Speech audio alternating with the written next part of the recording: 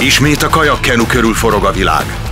A portugáliai Európa-bajnokságon három aranyérmet nyertek a mieink.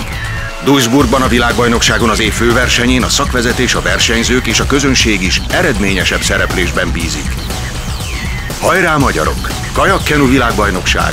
Szombaton és vasárnap délután élőben az M1-en és a www.telesport.hu-n.